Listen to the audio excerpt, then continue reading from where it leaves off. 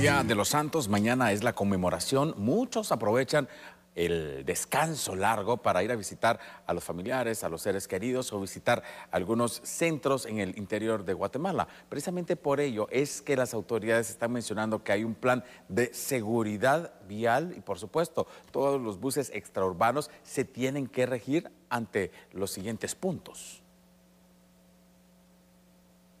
El Ministerio de Comunicaciones, Infraestructura y Vivienda por medio de Provial y la Dirección General de Transporte mantendrán operativos durante este descanso del 1 de noviembre. Los operativos tendrán como nombre Plan Operativo Día de Todos los Santos 2024. Este dará inicio el día jueves 31 de octubre a las 5.30 de la mañana y finalizará el día lunes 4 de noviembre a las 12 del mediodía.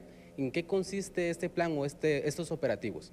Estos operativos son para verificar que la documentación esté al día, también para evitar accidentes de tránsito y que puedan en estos días las personas salir, eh, que puedan salir sin mayor inconveniente. Los operativos se mantendrán en las principales carreteras del país. Esto va a ser para todo tipo de vehículos, pero como les decía, también contamos con la Dirección General de Transportes, ellos también se encargarán de verificar todo tipo de transporte colectivo, también transporte de carga.